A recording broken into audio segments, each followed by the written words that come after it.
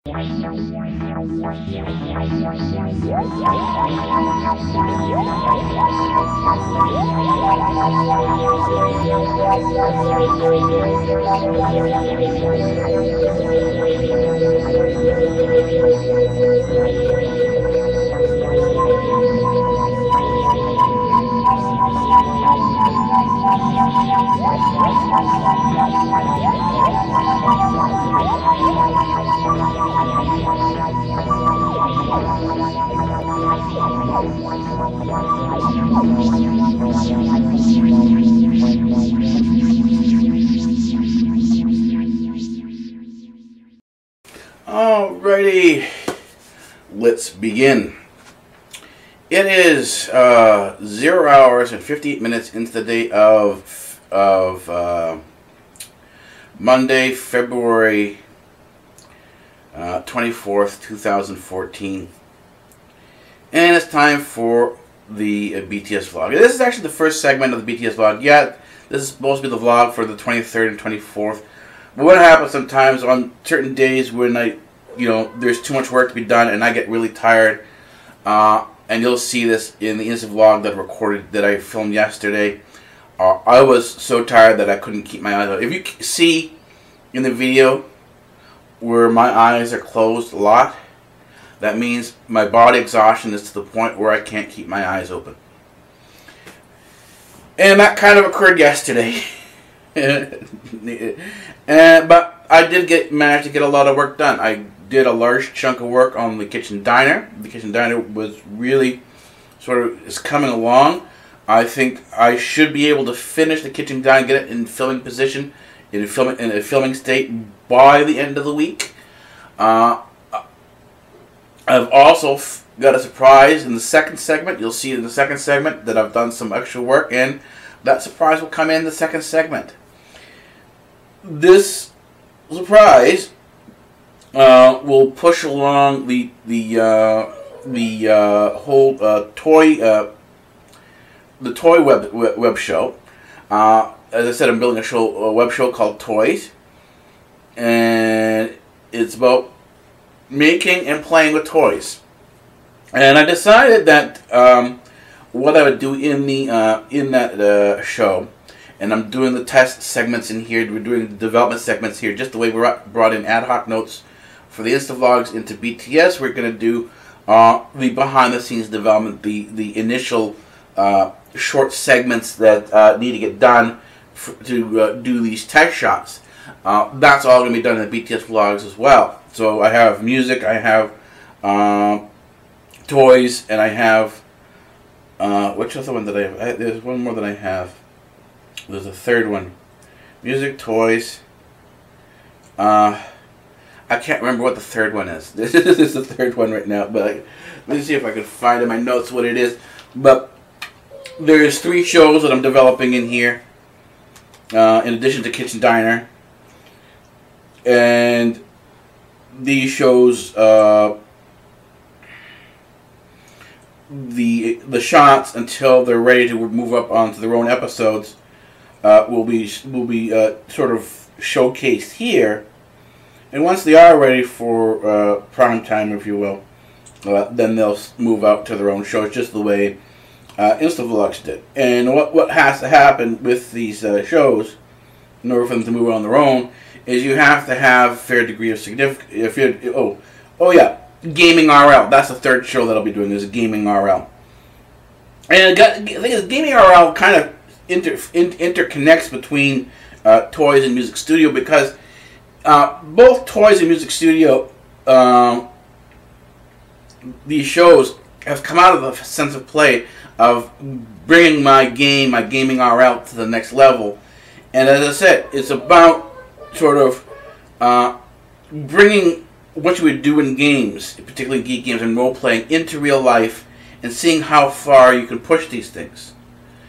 And so, in this case here, what I'm trying to do is I'm trying to push uh, uh, my uh, understanding of toys and sort of uh, create an environment where I can create my own toys. And the, the, two, the two toys that I was looking at in terms of working with them uh, to be our, to be our beginning uh, step into the toys, is looking at either Legos and Lalaloopsy. Legos is you have uh, Lego people now, and with a recent Lego movie, that's become very popular again with kids.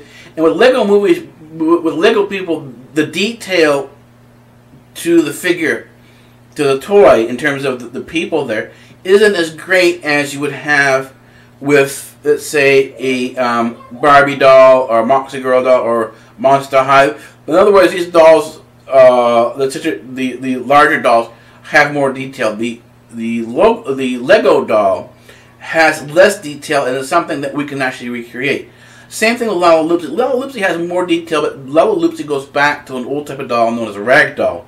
And it's possible to create these rag dolls out of old clothes and uh, you use yarn for the hair, uh, buttons for the eyes, and uh, we'll see how we'll work on the mouth. So, in other words, these toys are toys that we can use old parts, old stuff with, and repurpose them and create our own toys with it. And so that's how we're going to do that. We're going to look at the dollar stores. We're going to look into these various different areas and see whether or not we can pull something, uh, you know, more significant out of this than we did before. Uh, so, uh, that being said,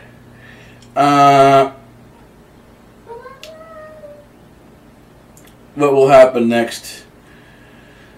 Uh, from our toys, we'll then go into the music studio. I do have, I've done the, the initial configuration of bringing, uh, what you call it, uh, bringing uh, the Linux station, the Linux computer that's hooked up to to a point where I've got all all the uh, apps uh, that I need to get. I went out and found all the apps that I need to get for to do the music studio.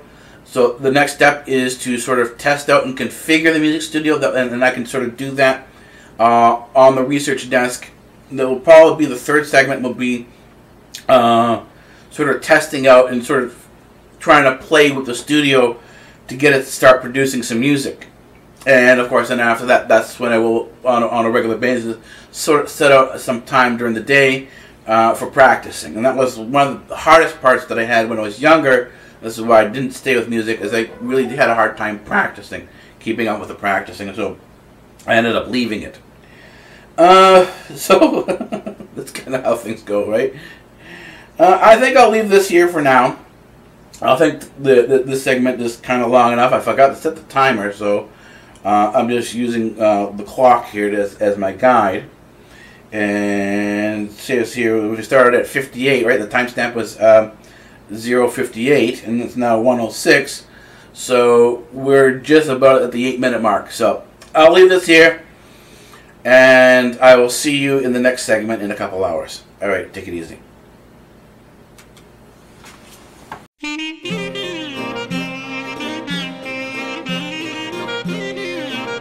Well, I had promised that the second segment would be uh, shot in a new location, but that's not going to happen right now because uh, as of uh, uh, a couple hours ago, basically sometime around 4 o'clock in the morning, I experienced uh, another sleep deprivation crash. And well, it's not that bad this time. It's you instead of knocking me out for days. Uh, I've lost maybe a couple hours. Uh, I think I lost about six hours worth of work. So uh, that's why I'm doing the BTS vlog from here for the second segment, rather than doing it from the new surprise location. Uh, but anyways, let's get on the uh, time and date stamp. It's um, 17 hours and 37 minutes into the day of Monday, February 24th, uh, 2014. Yeah. February is almost over. And uh, it's good. It's time to sort of uh, move along and uh, uh, get what's left of the day started, more or less. Um, we'll see what happens in terms of the schedule for today. Uh, excuse me. I don't know what's going to happen for today. The schedule is kind of off for now. Uh, when the crash happens, and you can sort of see that the crash is coming because uh, the state I'm in during in the videos is that I start to fall off in terms of my uh, my appearance, my um, my wakefulness on uh, on the videos is off, uh, and that's the sort of the cue that um, oh, there's a crash coming. It is, as most vloggers will tell you, difficult to maintain uh, this uh, schedule of vlogging where you have to vlog every, almost every single day. But uh, I don't know if necessarily it's the vlogging itself that's the problem. Uh, for me, it's not necessarily vlogging. it's not the vlogging that, that causes the late nights. It's the studying, the research. The vlogging simply reflects what's going on. It doesn't cause what's going on. It sort of reflects it. And this, uh, you know, if this is what vlogging is supposed to do, it's supposed to be uh, seeing, um, you know, the reality behind the uh, uh, behind the life of a scientist, just you know, like like Sheldon Cooper. Well, you know, if you're working on a problem and you're working late nights, you're trying to resolve the problem. Then you're not going to sleep and that you are going to have periods when you are heavily sleep deprived. And this is sort of the case here. Is that we're uh, you know I work very late nights, and more often than not, it's not because I have to that someone's forcing me to do this. It's because I'm working on a project. I get to a point where I'm working on the project, things are working well, and I'm finding solutions and I don't want to stop because I know as soon as I stop that I might forget some of the stuff that I'm working on. I might forget some of the solution, and I try to work my way through as far as I can, uh, putting down the solution that I think that you know that that I think I have. And in some cases I'm right, in some cases I'm wrong. you know, you do have to go back and check to see what the work. Make sure you wrote down is is is coherent. Well, some of that is coherent, but you do often more often than not when you're working when you're tired like this. Coherency is particularly an issue. You do have to go back and check your work afterwards, and more often than not, it's it's it's, it's you've got the stuff down you just have to sort of reorder it. You have to reorganize it in order to get it into a better sense. I mean, uh, solutions when it comes to you, particularly if you're working long hours and you're pushing things further, the notes you're taking tend to become more ad hoc than they are organized. So, uh, the once you realize this that you are writing down ad hoc notes that you have to go back into these notes again at some point uh, during the week with it when it's still fresh in your mind and reorganize it. Now, of course, periodically you have to, if you're doing working on a lot of different subjects, you have to go in and reorganize the entire notebook. So, you know, this this is what happens. You know, the reflection of what's going on with InstaVlogs is the reorganization of the entire notebook that I have um, that carries all the research notes uh, from all the various different subjects that I mentioned. Uh, people say, well, how are you doing all these different subjects? Well, shouldn't you just pick one?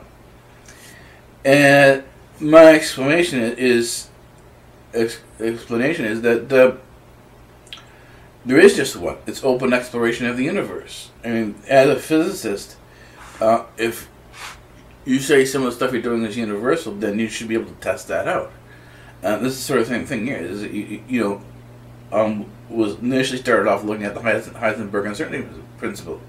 You know, is this level of if this is this principle uh, restricted to quantum physics, or is it throughout? You know, and you know, we call uh, the Heisenberg uncertainty, uncertainty principle and some of the natures of quantum mechanics make it, in many ways, an anti-logical science. It means it stands against logic. And in this case, you ask yourself, well, does this anti-logic apply elsewhere? And the only way to answer that question is, is to go out and actually take a look at things. And uh, the number of places I've found that does apply is is quite amazing. Uh, so I can say through experience that yes, you know, quantum physics uh, and the Heisenberg uncertainty principle, uh, the anti-logical sciences, does apply outside of uh, what we call traditionally physics. So uh, this is sort of the direction it's gone in, and uh, yeah, so our time is up. And I will see you in the third segment a couple hours later. Uh, and hopefully I'll be able to film that the the uh, I'll be able to do that the, the third segment in the surprise location. Anyways, have a good one.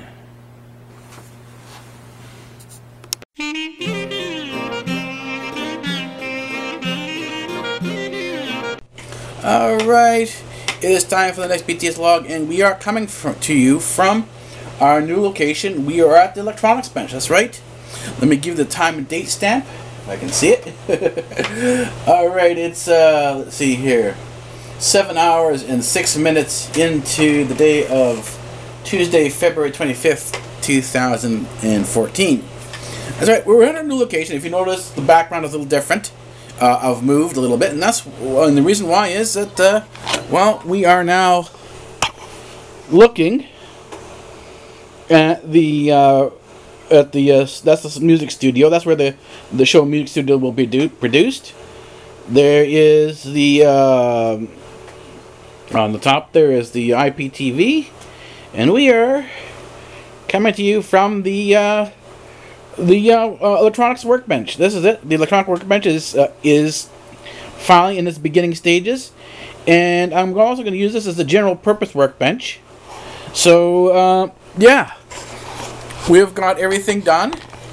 Uh, well, not done, but good enough to start using it. Uh, so I'm here, and I'm vlogging to you from the the, uh, the third the, our third segment, our third uh, uh, studio, if you will. There's another one still uh, coming into production. I still have to work on it. It's going to be where I'm doing the editing. So, but that's still not ready yet. And of course, I still have to work on the kitchen studio. that's sort of coming along bits and chunk uh, bits and chunks at a time, bits and, you know a little bit at a time, and then uh, but otherwise uh, things are going okay. Uh, a little a little slower than I expected. I did have a uh, sleep deprivation issue over the weekend, particularly Monday. I'm still a little bit today, but um, I am doing better. So uh, I should get back on track for. Um, for later on tonight, actually.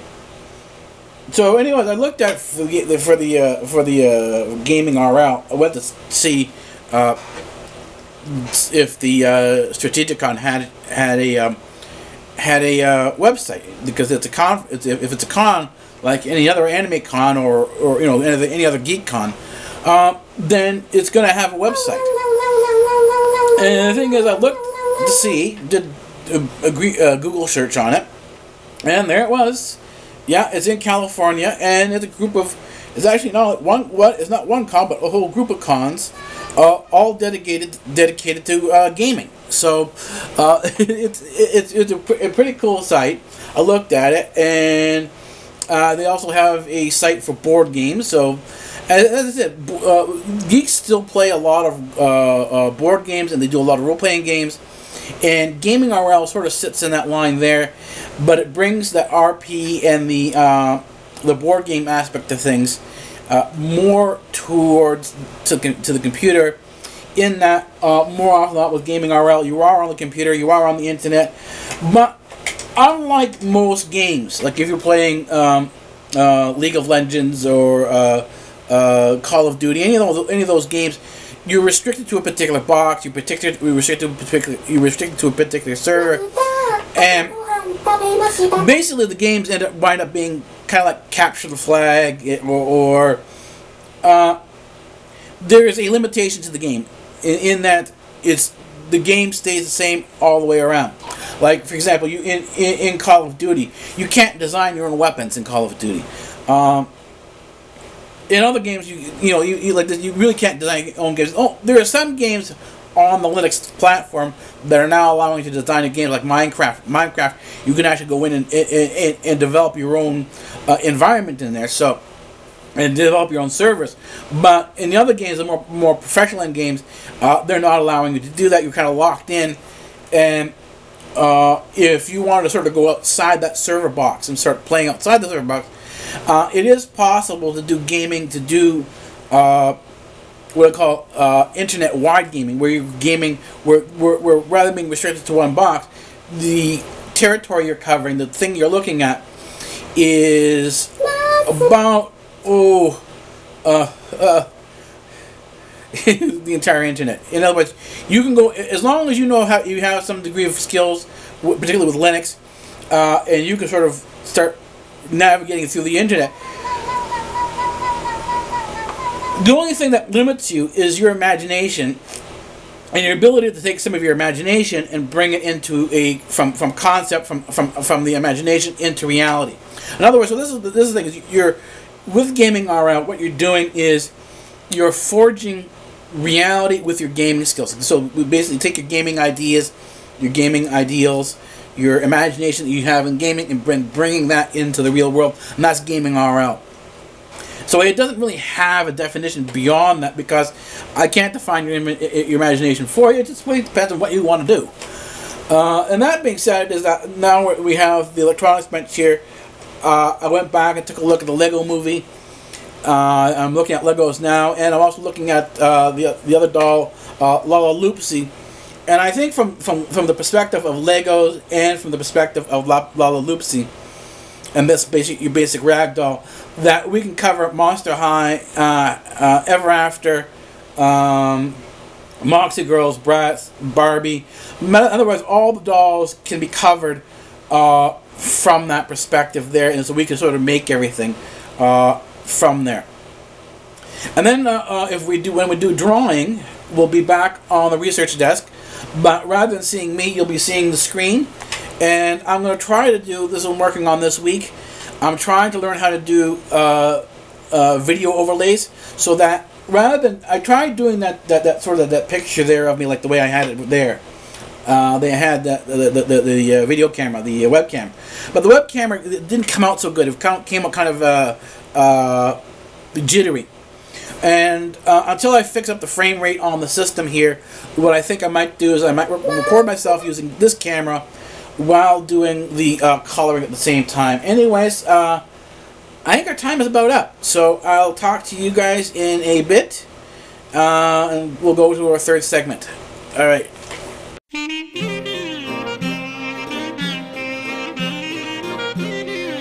I'm trying some. Well, trying something new. We're back to uh, the uh, the research desk now, and the reason why we're back at the research desk is uh, the electronics bench does need some more work on it. Was, uh, I realized that there were some issues with the um, with the electronic bench that I still have to sort of work out. The other thing is is that uh, well, we're all. I'm, it's basically where I am at the time, and right now I've been here at the uh, research desk re- redoing the notes. Uh,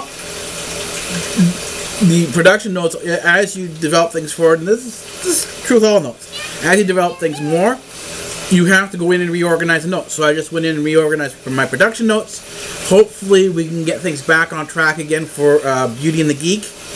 Uh, I'm kind of off schedule with that. Uh, a large chunk of the work for the, the, for the next episode has been done. It just hasn't been put together. That's all. So it's a matter of sort of putting everything together. There is an Insta vlogs, an Insta vlog, an episode of this vlogs is in uh, the editing bay. I'm working on the ability to do video overlays. Uh, video overlays are uh, like graphic overlays. Instead of having, um, let's see here, what side is it now? I think it's over there to the left. Yes, to the left. To the left are all the graphics here. You'll see here all the graphics here. Those are graphic overlays. Now, if I take the same box, let's say, let's take the Freedom box. I take the same box and replace it. Instead of using a, gra a, graphic, a still graphic, I use to put a video in there. Right, and that's what. But I want to do. I want to put the video over here. Uh, so as I'm talking about something, I want to point to a video and talk about a video. I can show you the video clip. Yeah, you know, roll to the clip and have you watch the video clip and then come back and talk about uh, whatever, whatever was in the video clip. That sort of um, effect has to be developed. And I'm close to doing it. I'm aiming to do this for uh, this this episode of the uh, this week's episode of InstaVlogs. It is coming. It's in the editing bay, and I'm working on the that new. Uh, the new element, uh, the video overlays, rather than just simply doing the graphic overlays. So, graphic overlays are going to be there, but uh, we're now going to have video overlays as well.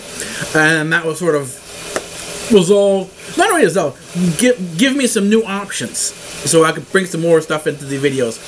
Uh, what else is there? oh. Uh, I think about it. You know, um, I mean, all things considered, you know, I, I said, I, well, that's thing I wanted to talk about. I noticed I, I, I watched the uh, video where, where I had started talking about the back room, and I noticed that there were some sound problems with the with, with the back room, um, with the uh, back room, and I think it's more it's a sound it's a sound level issue. So uh, that's not a problem. I can uh, fix up the uh, sound problem, the level problem on the editing bench, on, on, on the uh, in the editing bay.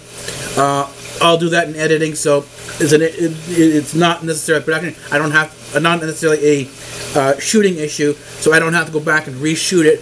What I can do is simply resolve the problem on the editing bay um, with it within an edit. So yeah, this is, this that's about it for now. Uh, we haven't finished the day kind of late. Let me give you the time and date stamp because I kind of I kind of forgot the time and date stamp. It is 11 hours and 9 minutes into the day of Tuesday, February 25th, 2014. Uh, yeah. So, it's no longer, this is no longer the BTS vlog for the 23rd to the 25th. I mean, 24, 20, 20 uh, the 23rd to the 24th. Uh, it's now a three-day vlog because uh, we kind of, I kind of went over schedule thing with things. Uh, I did have a bit of a, uh, I had a mic, I had a micro crash on, on Monday. When I talk about micro crash, usually the crashes uh, wipe me out for a couple days and up, up to a week.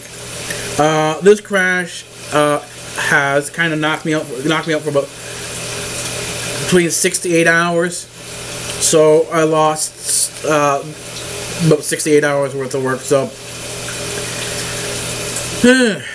that's how things go sometimes. there, there are things you can control and things you can't control. Anyways, uh, that's it for now. I will see you guys in the next BTS vlogs, which will be in a few hours from now, probably around 6 o'clock. So, anyways, take it easy.